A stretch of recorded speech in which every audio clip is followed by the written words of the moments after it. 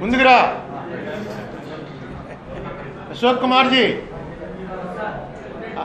రండి సార్. ఏం పర్లేదు ఇది ఏం పార్టీ మీడియా ఇది కాదు ప్రెస్ మీట్ కాదు.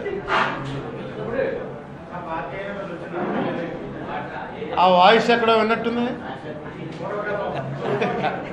కొన్నాళ్ళు గ్యాప్ వచ్చిన వాయిస్లో ఉంది ఇది. చిరంజీవి లాగా కొన్నాళ్ళు అటు ఇటు తిరిగి మళ్ళీ వన్ ఫిఫ్టీయా?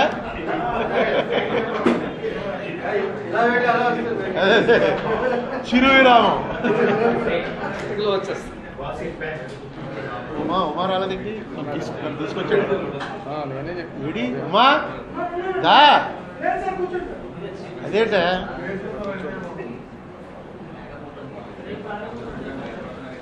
మీకు ముందు చిన్న వార్త ఏంటంటే శుభవార్త అనుకోవాలి. నేను నెక్స్ట్ నుంచి ప్రెస్ మీట్ కాకుండా టెక్నాలజీ వాడి. మీకు ఎవ్రీ వీక్ ఒకటి వాట్సాప్లోనూ మెయిల్ ద్వారాను పంపించేయాలని వచ్చిన నిర్ణయం చేశాం.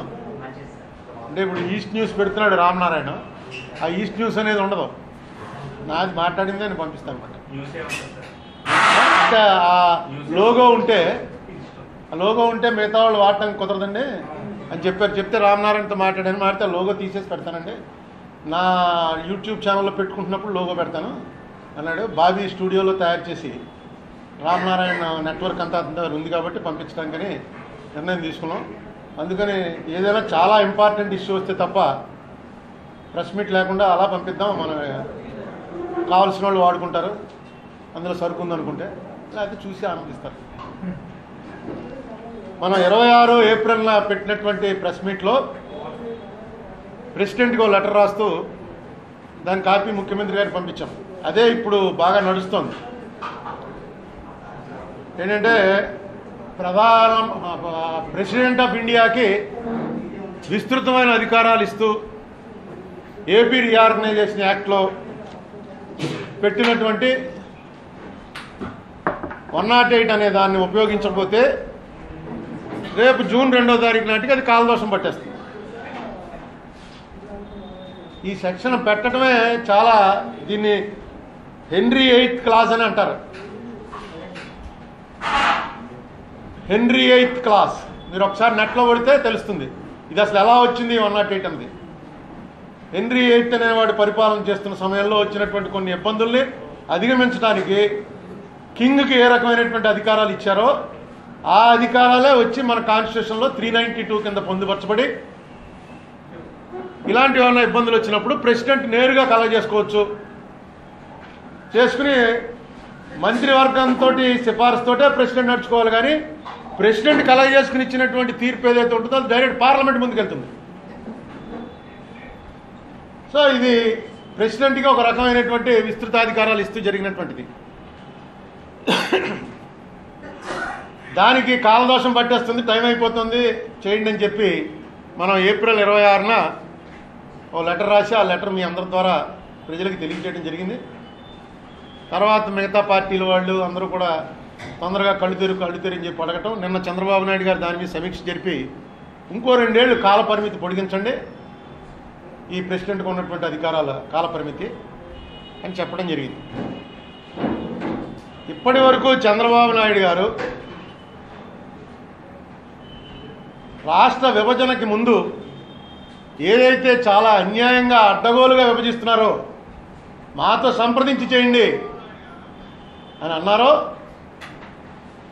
ఆయనతో సంప్రదించుంటే ఏ రకంగా విభజన జరపడానికి ఆయన సిఫార్సు చేసి ఉండేవాడో ఇప్పటివరకు చెప్పలా.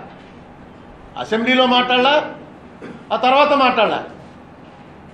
ఒక ముఖ్యమంత్రిగా ఒక జాతీయ అధ్యక్షుడిగా ఇప్పుడు వాళ్ళది రెండు రాష్ట్రాల్లో ఉంది కాబట్టి జాతీయ అధ్యక్షుడిగా ఇదే విభజన ఆయన చేసుంటే ఎందుకంటే ఆయన దానికి మద్దతు ఇచ్చాడు.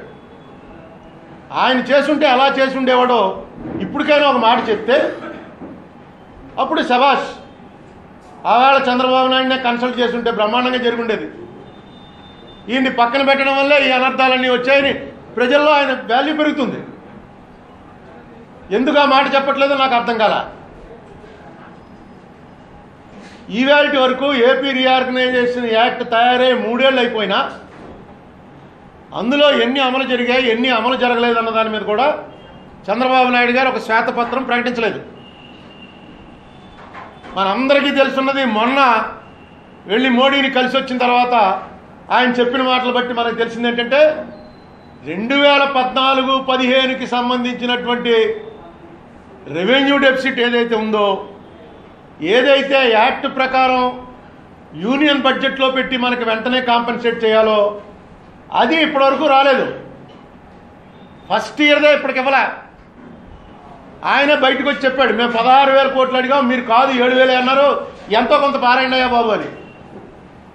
ఇప్పటివరకు ఆ డబ్బే రాలా. ఒక్కసారి ఎందుకు చంద్రబాబు నాయుడు గారు మొత్తం అంతా ఈ రహస్యం అంతా ఆయన గుండెల్లో దాచుకుని జరుగుతున్నటువంటి ద్రోహాలన్నీ కూడా ఆయన గుండెల్లో దాచుకుని ఎందుకు బాధపడటం ఒకసారి బయట పెట్టండి. శ్వేతపత్రం ద్వారా ఇప్పటికీ ఎన్ని సాధించగలిగారు ఎన్ని సాధించలేకపోయారు? షెడ్యూల్ నైన్ టెన్ అందులో మనకి ఎంత వస్తుంది? అది ఎందుకు రావట్లేదు? దానికి ఓటు నోటు కేసుకి సంబంధం ఉందని ఏదైతే ఆరోపణలు చేస్తున్నారో ఆరోపణలు ఖండించండి. దానికోసం కాదు ఇది ఆగింది ఈ కారణాల వల్ల ఆగిపోయిందని కారణాలు చెప్పండి. ఈ మధ్య రెండు మూడు రోజుల నుంచి చూస్తున్నటువంటి డిబేట్లు వివిధ ఛానల్స్లో డిబేట్లను బట్టి అర్థమైంది ఏంటంటే ఇటువైపు నుంచి రాష్ట్ర ప్రభుత్వం నుంచి ఇదిగో మేము ఈ ప్రయత్నం చేస్తామని ఎవరు చెప్పలేకపోతున్నారు. ఎక్కడుంది అడ్డిల్లో యాక్ట్ సరిగ్గా తయారు చేయలేదండి అసలు అందుకే ఈ పాపం ఉంటున్నారు తీసిపారండి యాక్ట్. ఇప్పుడు మీరు రూలింగ్లో ఉన్నది. ఆ యాక్ట్లో ఏమేమైతే బాగోలేవో అన్నీ తీసి కొత్త పెట్టండి. ఎవడొద్దున్నాడు మీరు బా- ఆ ప్రయత్నాలు ఏమి చేయకుండా మూడేళ్ళు అయిపోయిన తర్వాత కూడా యాక్ట్ బాగోలేదండి యాక్ట్ బాగోలేదండి అంటే ఇంకా ప్రభుత్వాలు మార్చడం ఎందుకు? కాంగ్రెస్కి ఎందుకు అంత భయంకరమైనటువంటి సెట్ బ్యాక్ వచ్చింది? ఈ యాక్ట్ గురించే కదా. ఈవేళ చూస్తుంటే ఆ యాక్ట్ యాజ్ ఇట్ ఈజ్గా ఇంప్లిమెంట్ అయితేనే టాప్లో ఉన్నాం.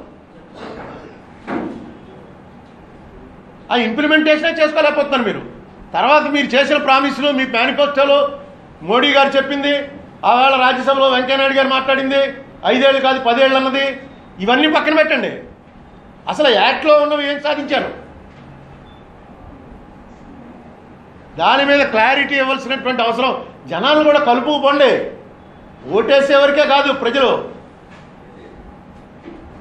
ప్రజలను కూడా కలుపుకుని పోతేనే ప్రభుత్వం మీద ప్రజలకు ఆ నమ్మకం వస్తుంది. ఎప్పటికప్పుడు చెప్పండి అసలు ఏం జరుగుతుందో.